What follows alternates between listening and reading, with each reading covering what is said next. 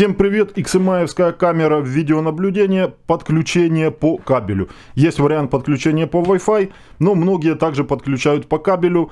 Э, какой плюс кабеля? Многие спрашивают. Wi-Fi это беспроводное соединение. Э, менее стабильное, менее качественное. Кабель это проводное соединение, и пока лучше кабеля ничего нету. Передача данных на расстоянии и питание, кстати. Кстати, камера не совсем беспроводная. Вот все думают, если Wi-Fi, значит камера беспроводная. Питание камере нужно все равно подключать. Это, соответственно, провод. Это, соответственно, розетка. Или рядом розетка, или же тянуть нужно какой-то удлинитель вам, чтобы подключить камеру. Опять же кабелем. Тогда в нашем случае стоит просто подключить камеру одним кабелем – и будет она и питание получать по кабелю, и делиться информацией с вами будет по кабелю. Wi-Fi не будет задействован. Ну и по кабелю, соответственно, мы можем камеру вынести на большем расстоянии, чем Wi-Fi. Прием сигнала Wi-Fi. По вашим просьбам создал группу чат в Телеграме для общения и помощи по теме видеонаблюдения. Переходите, присоединяйтесь. По кабелю на 12 вольтовом э, питании. Вот, например, стандартный блок питания камеры, который идет в комплекте. Или же такой вы можете заказать на AliExpress. Непосредственно подключение в розетку с таким же вот разъемом стандартным. Или же стеновое крепление с отдельным подключением в розетку и уже на э, камеру. Что такое, что такое. При этом мы можем использовать э, длину кабеля витую пару с двух сторон обжатые EJ45. Вот так вот. По обжимке так, также есть у меня видео, все можете вы сделать сами. Нужную длину кабеля себе обрезать и все это сделать даже без обжимки. Кому нужно видео, дам ссылку. 30 метров на 12 вольтах. Многое зависит от качества витой пары. Для улицы лучше использовать черную уличную э, витую пару. Но у меня такая проложена под крышей под навесом и никаких вопросов нету, камеры работают также. По 12 вольтам до 30 метров. Способ подключения по одному кабелю.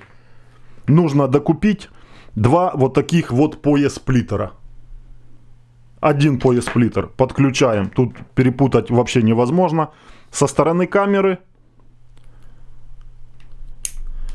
готово. Подключаем в него кабель, один конец. Пошел, пошел кабель, в дом камеру вынесли, пошел, пошел, 30 метров приходит, подключаем второй пояс-сплиттер.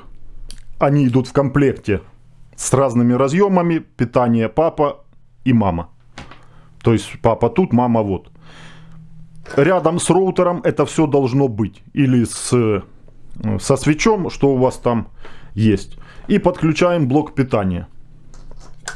Питание подаем на камеру. Подключаем блок питания в розетку 220. Эту, этот конец кабеля от сплиттера подключаем в свободный разъем роутера. И камера у нас подключена по кабелю по 12 вольтам.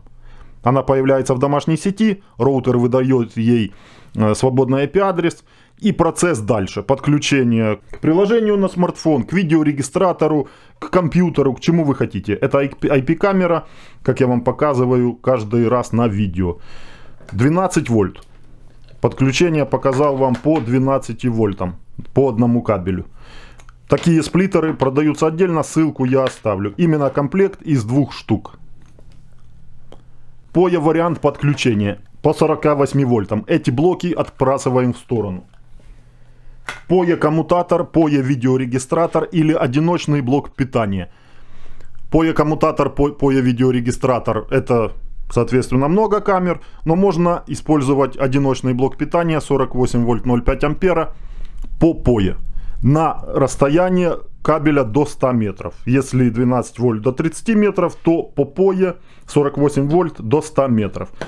Что мы докупаем? Вот такой POE сплиттер. Дозаказываем вместе с камерой и камеру от роутера, от розетки 220 вольт. В данном случае вы можете вынести на длину кабеля до 100 метров. Витая пара также качественная на большое расстояние. Про на таком расстоянии о Wi-Fi не может быть и речи, поэтому POE подключение, наверное, одно из лучших.